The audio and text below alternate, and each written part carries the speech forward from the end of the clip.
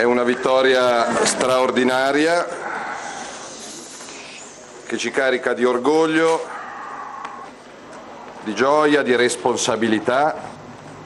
perché milioni di italiani ci hanno chiesto di riprendere per mano questo Paese, di liberarlo dalla precarietà e dall'insicurezza decisi a norma di legge da Renzi, da Bruxelles, a colpi di spread, di barconi, di fallimenti di banche, quindi lo vedo come un voto di futuro. E adesso Forza Italia proprio per capire come questo sorpasso